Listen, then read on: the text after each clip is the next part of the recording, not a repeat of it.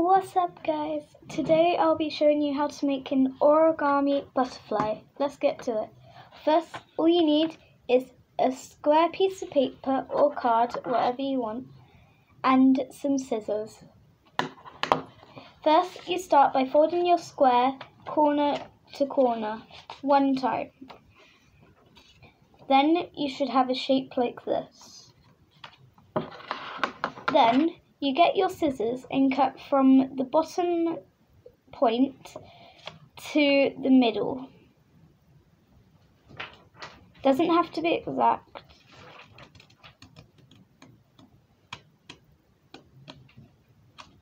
Like this. Now you fold it now you fold your butterfly in half.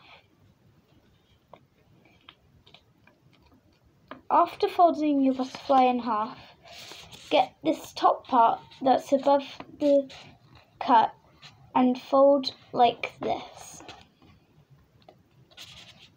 Then turn it around and fold like that, using the same line.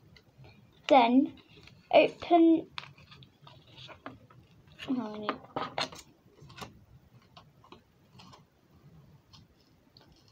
Then open up your butterfly and if you need to cut a bit more, do that cut. Then you should have something like this. You can either keep it like that or fold this part of the wing, since there's two things, you can fold that up like so.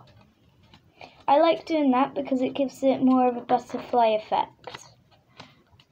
You don't have to, but I do. And that's how to make an origami butterfly, guys. You can colour it in or not.